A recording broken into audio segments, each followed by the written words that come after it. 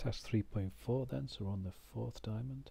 You do really need to have a look at these three pages beforehand because they talk about the if and the else and then they add in an extra step. If you've got more than two decisions you need another step which is what we call an elif. But the thing that might get you more than anything in this is logic. So there are certain things that we need to think about. The first one is straightforward up here. It's saying based on the weather, if it's currently raining, you should take the bus.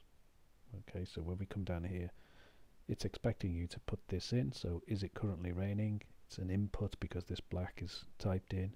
If they type yes, it just should say you should take the bus and stop. That's the end of that.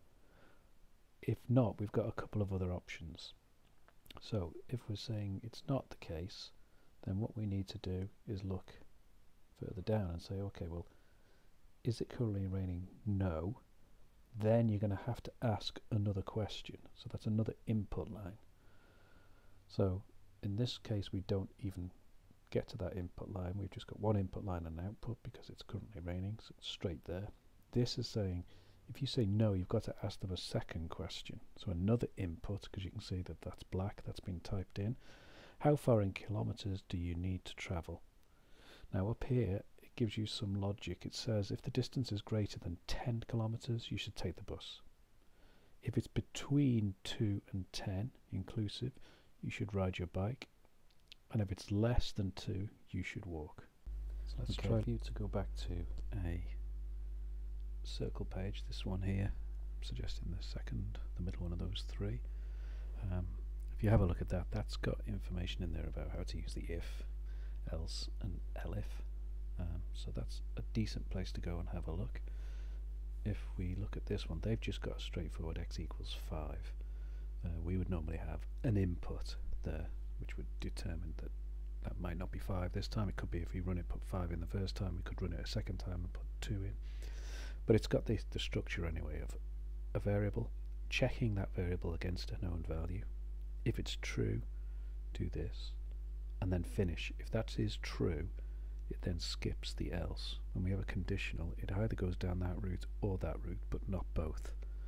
So if that is true, if x is less than 5, it's not, uh, sorry, if x is less than 3, which it's not at the moment, but if it were 2, then it'd come down this, print x is less than 3, and then go down to the end and find no more code and stop. But this isn't, it's 5, so is x less than 5? No, it's not, so it skips this line and goes and does this code. Now it has another if. So this structure is interesting, but it's not all that you need. So let's have a, a look at some other code that I've done that will help a little bit further, I think. Go and have a look flowchart here. We can see that if we start at the top and ask the question, is it raining? So we're going down this route here. If the answer to raining is yes, when we do our check, if rain equals yes, then if that's true, we're going to come down and take the bus. That's the route that we're going to do through our code. So that's straightforward. Let's look at the other instance. So is it raining? And we get to there and we say no. We don't go down the true route, we go down the else. So if it's raining true, go that way. If it's false, we get to an else. And then we said we have to ask a second question. How far have you got to travel? So the first test is, well, is it greater than 10? If it is greater than 10, then you're going to take the bus again and go down that route. So that's the second option.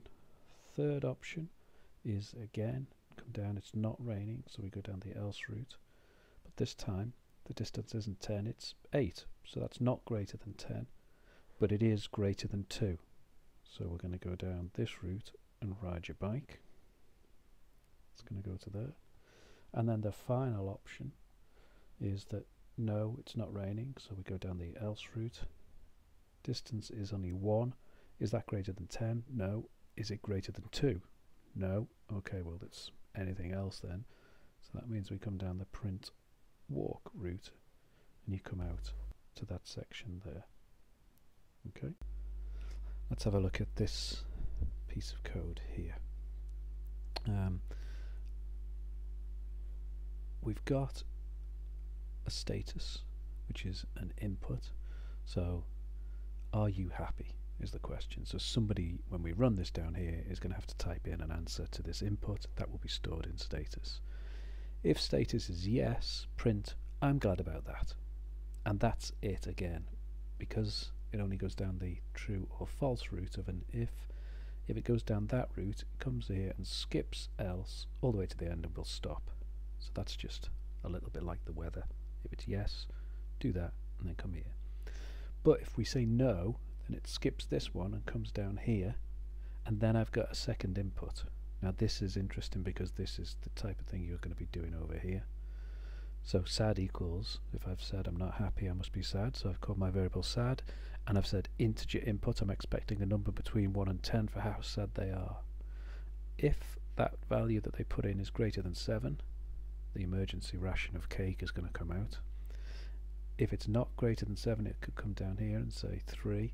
If I'm saying greater than 3, so if it's not greater than 7, it's 7 or below. Greater than 3, okay, this is not as bad as bringing cake, but we might tell them to try exercising and then if it's less than 3 then we are going to say that I feel a bit down too sometimes. So let's run it, put in yes for the first question, are you happy? Yes I'm happy. The, I am glad about that and that's what it's printed at the bottom. It doesn't do anything else, it comes straight down to the bottom after it's had the status of yes. Run it again and this time we'll put no. It's going to ask me the second question, how sad am I? And I've put in 8 so at that point, how sad? If sad is greater than 7, yes it is, 8 is greater than 7, I will bring cake. So let's do it again. No, how sad? Not as sad this time, just 6. So again, I'm going to come down the else route. Is 6 greater than 7? No. Is it greater than 3? Yes. So have you tried exercising comes in. And finally, are you happy? No. How sad? 2. I feel sad sometimes. It's actually come down below here. The else has disappeared now. But that's the basic structure that you're going to need for your answer to this question.